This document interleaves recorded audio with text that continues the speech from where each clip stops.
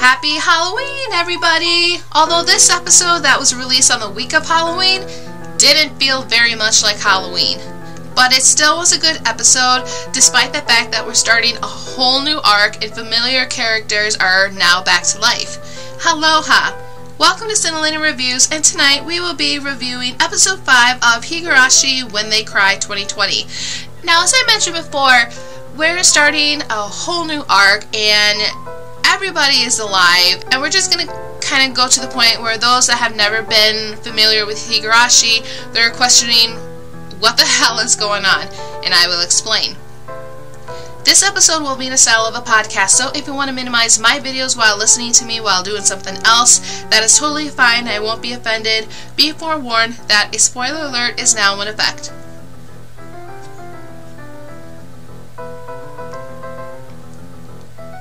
The date is June 12, 1983.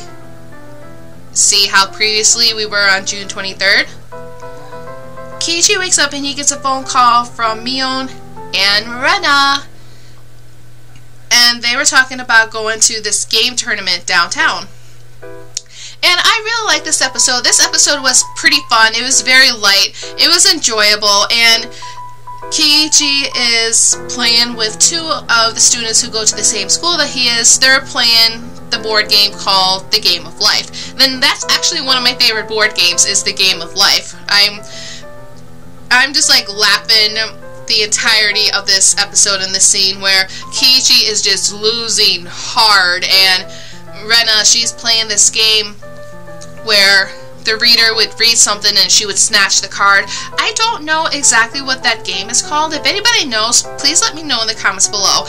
And she's just, every time she picks up the card, she's just like, oh my god, it's so cute! I want to take it home! Kiichi looks over and every single one of the cards on it, they're just like cute animals and objects and stuff. And it's like, okay, well that kind of makes sense why she wants to take everything home. They're all cute. So at the end of the tournament, everybody wins and they all win stuffed animals and Kiichi gets this doll.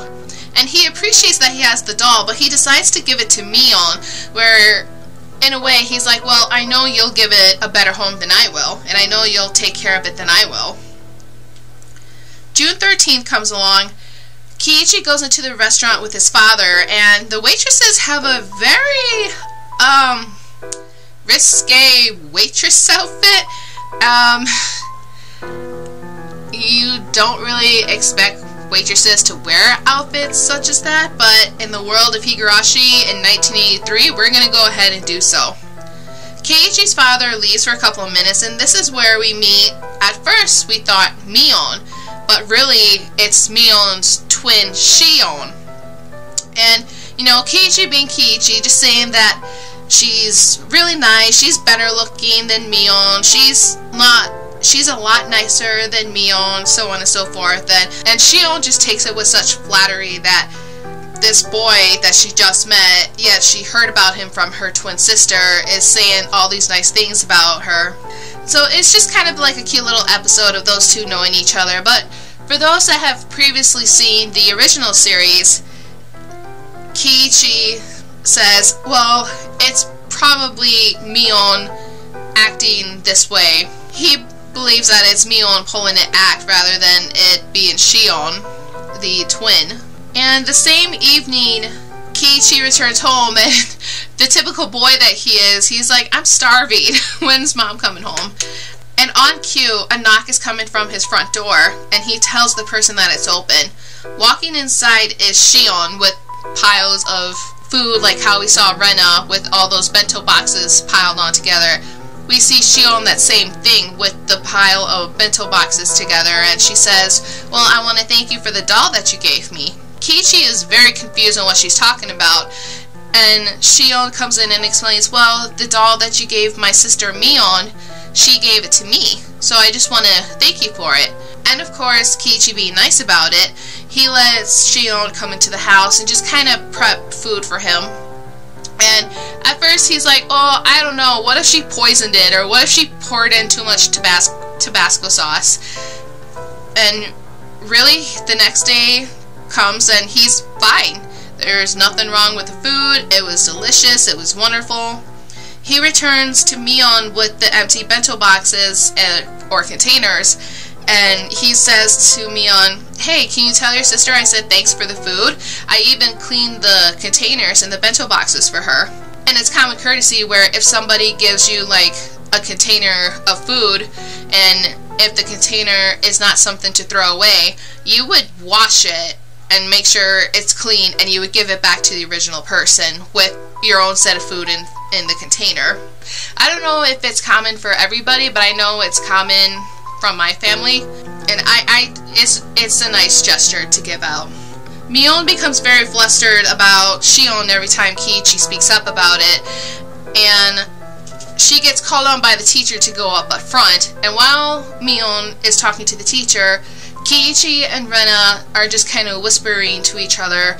In a nutshell, Rena is saying you can't judge a book by the cover, which is very, very true. At the very last bit of the episode, we're on June 15th, and it's the end of the school day. Rika says that she has to prepare for the festival. Kiichi wasn't sure on what festival she was talking about. This is where Mion, Rena, Satoko, Rika, they're all explaining to him about the Cotton Drifting Festival, which was the same festival where all these incidents occurred right after, and it's to praise Oyashiro. Stopping by the restaurant where Shion works, Kiichi decides that he wanted to go in and visit.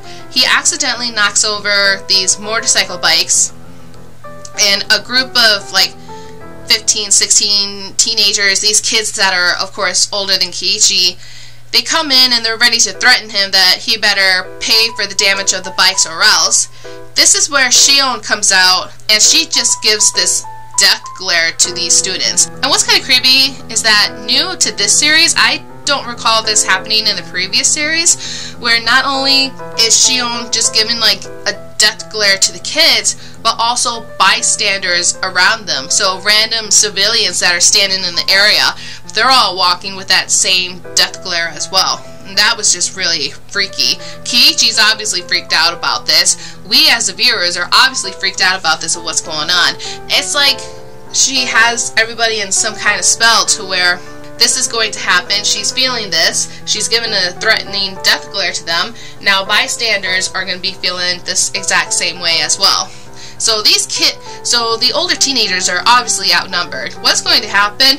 We won't know until next week's episode.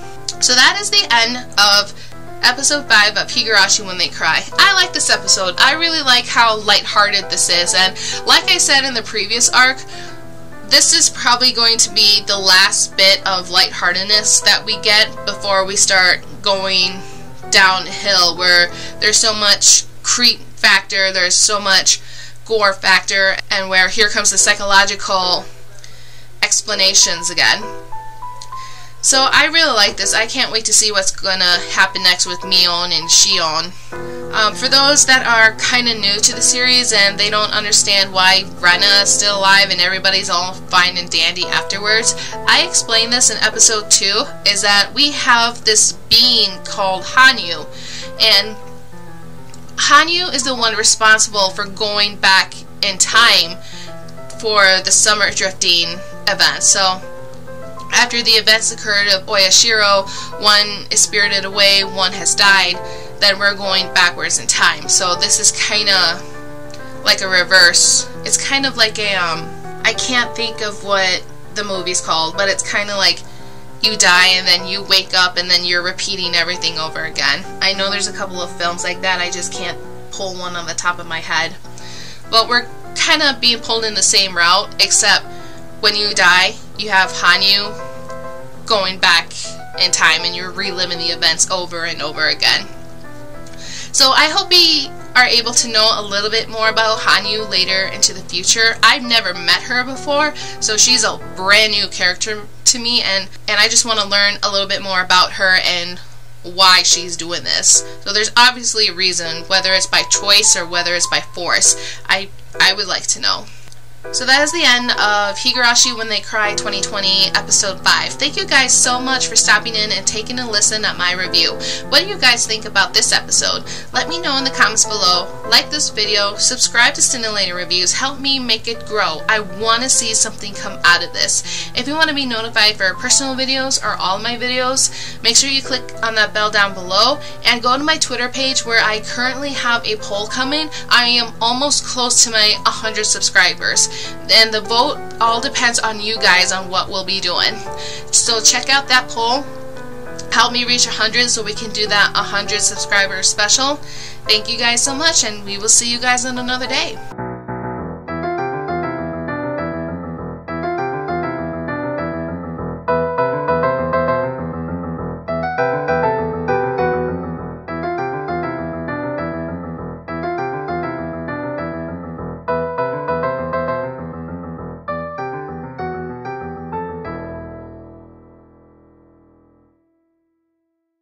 Our simplest prevention is our biggest protection. Take care of yourselves and others as you practice social distancing, washing hands, and staying at home. Let's get better by starting to make our world better to reduce the spread of COVID 19. See you later on another day.